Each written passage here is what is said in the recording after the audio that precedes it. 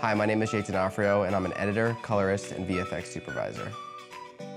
I'm originally from a small town in Rhode Island, and growing up in a small community hindered me in certain ways. I used to suffer from severe anxiety disorder, which was something that I thought I would never grow out of. When I got to Chicago and I got a whole new sense of a different community, it really inspired me to overcome my anxiety. I love being able to teach others how to get through situations in life and also take those negative things that they went through and turn it into positive through their art and especially in filmmaking. My first film experience here in Chicago was when I started a production company with my roommate and we were able to create this company based off of making music videos.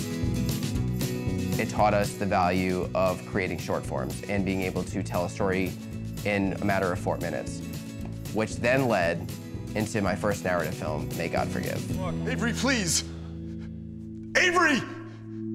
Think of your son. Don't abandon your family. What do you know about family? I had one once. I know plenty about it. May God Forgive is about a man who seeks redemption for questionable choices that he's made in his past. Working on this film taught me the value of an editor-director collaboration and lifelong relationship because when I was working on this film, I made friends that I know that I'll have for the rest of my life. Stay Here is an independent film that revolves around a young boy who struggles to survive in an abandoned wasteland while growing up in a dysfunctional family. You will do as you're told. So while I was creating these visual effects, a PA that was just starting off at school was sitting behind me and he said, hey, I'm not really sure what I want to do here. Can I sit and watch what you're doing? And I said, oh yeah, absolutely. So I started to create this whole atmosphere of what we were going for.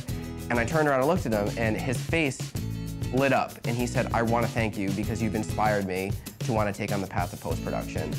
And to me, that was the best part of that film. I was able to take someone and inspire them to do something else. And that was success.